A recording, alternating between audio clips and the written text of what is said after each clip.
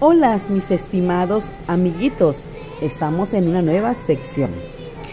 La oración. ¿Qué es la oración? Es un diálogo entre Dios y tú con mucho amor. Es una alabanza hacia Él por su grandeza, su belleza y su bondad.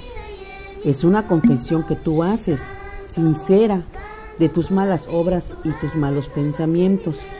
Y es un instante con Él porque Él te escucha y te da la oportunidad de ser parte de su reino.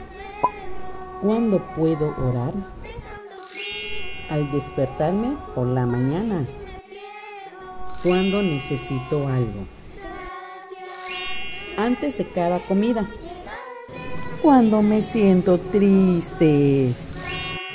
Cuando me siento feliz. Cuando tengo miedo. Cuando voy a dormir. Dad gracias en todo. Pon atención y escucha muy. ¿Cuándo y dónde se debe de orar? Debo orar a voz alta. Debo orar con mis amigos. Le damos gracias por este día majestuoso que nos dio este día. Le damos muchísimas gracias por las bendiciones que nos dices esta semana y estos meses. Le agradecemos porque ya mero vamos a terminar este año y todos estos domingos que hemos estado y todos esos días que hemos estado es gracias a usted.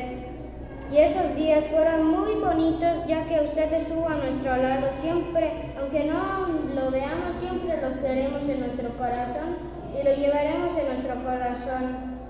Aunque, aunque estemos en un lugar así como que entremos en pánico, siempre estaremos con usted, Señor, y siempre estaremos con, con usted. Todo esto te lo pedimos en el dulce nombre de Cristo Jesús de su Hijo amado. Amén.